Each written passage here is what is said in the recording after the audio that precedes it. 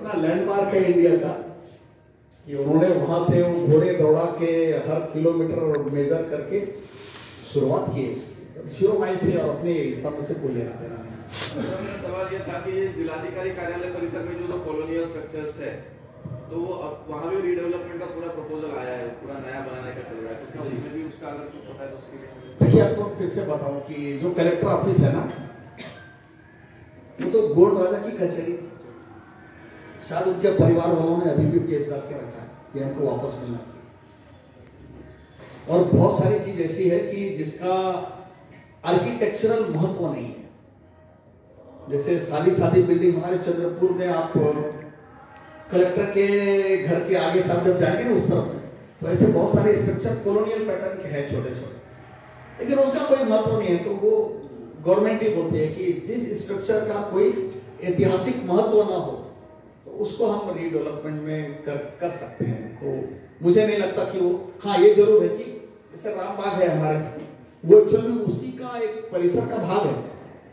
और उसमें उस पीरियड का एक स्विमिंग टैंक का देखे होंगे बीच में तो। और स्विमिंग टैंक इसीलिए है कि वहाँ पर एक बहुत बड़ी, बहुत बड़ा कुआँ है। वो कुएँ भी एक इंस्क्रिप्शन लिखा हुआ है ब्रिटिश पीरियड का। कॉलोनी बने, सब बने, लेकिन वो जमाने का स्विमिंग टैंक टूटना नहीं चाहिए और वो कुआँ ढकना नहीं चाहिए इसका यहाँ की बावड़ियाँ हैं, एक से एक बावड़ी है पानी की। मैं आज भी बताता हूँ कि नगर पालिका जितना खर्चा करके बोरवेल मारती है ना, उसके वन फोर्थ खर्चे में सिर्फ़ बावड़ियों का कचरा उचरा निकाल के क्लीन कर दे तो पानी का स्रोत अपने आप देखिए, प्राचीन बावड़ियाँ शास्त्र के हिसाब से बनी है सब। पानी की कभी कमी नहीं रहती उसमें। लेकिन आज हमारे चंद्रपुर में क्या हाल है? हर मोहल्ले की बावड़ियों को सिर्फ़ एक बाबूपेट की बावड़ी बाबूपेट के कुछ लोगों ने उसको साफ़ उफ करके उसका पानी यूज़ करते हैं। बाकी महादेव मंदिर बाबूपेट में पुलावर सर बैठे हैं, एक दिन मैं इनके साथ में गया था तो वो तो बावड़ी पूरी बुझा के उन्होंने उसको लेवल कर दिया।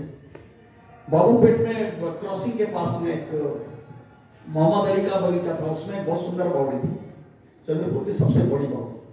उसके बारे में जब मैं थोड़ा सा पत्र व्यवहार करने लगा तो उन्हें बुलडोजर लाके उसको लेवल कर दिया। तो बताया ना कि बहुत सारी चीज़ के जवाबदार हम खुद काम है हम। पब्लिक है इसकी। कि हम बोरवेल के लिए चार लाख खर्चा करेंगे लेकिन हम वो बावड़ी साफ़ करने के लिए पचास हज़ार खर्चा नहीं करेंगे। क्योंकि उसमें गवर्नमेंट को पैसा नहीं मिलता ना। और बोरवेल कितना फुट मारा उसका हिसाब नहीं होता। पर्सनल मिल शेवटी प्रश्न सृजन आपल्यासमोर एक नवीन विषय घेऊन येईल अशी खात्री देत मी आपला निरोप घेते. धन्यवाद शुभरात्री.